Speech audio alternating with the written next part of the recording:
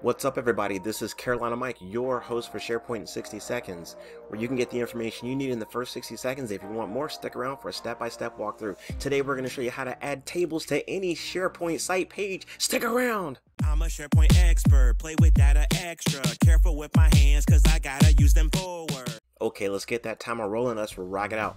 First thing we're going to do is we're going to edit that site page and we're going to go and we're going to add in a text web part. That's where you are able to add tables. We're going to get the cursor, we're going to click on tables, boom, you just added a table.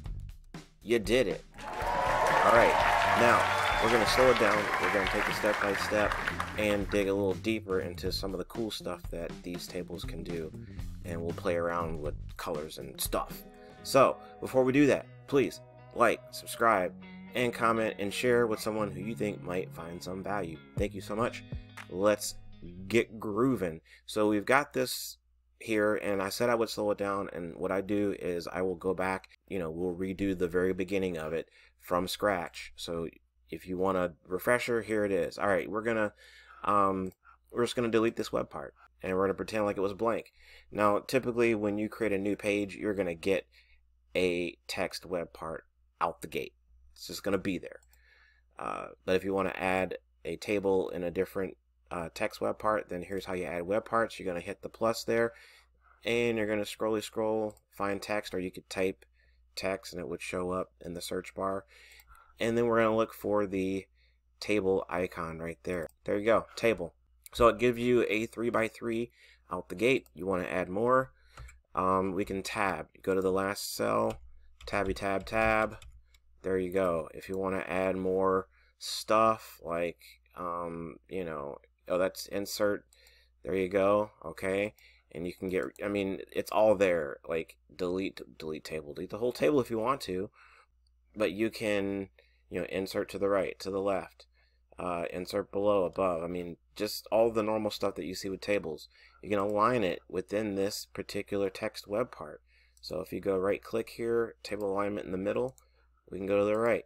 Okay, we do all sorts of neat stuff.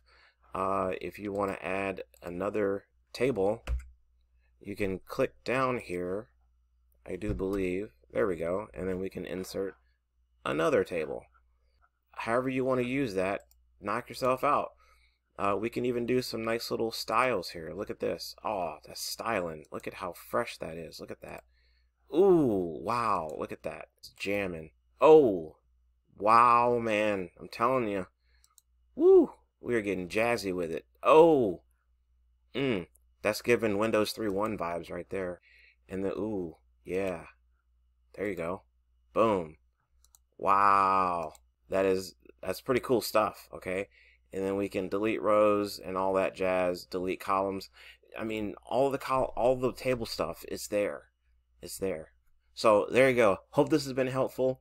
Enjoy um, building all these super cool tables uh, inside your site pages. I can't wait to see them. All right, remember, do the best you can with what you got. And SharePoint rocks, so do you. We'll see you next time, y'all. And here's some bonus footage of me publishing that so you could actually see what it looks like once it's been published. Because since I didn't show you that in the before the ending. Sorry. All right. Next time. I'm a SharePoint expert, play with data extra. Careful with my hands, cause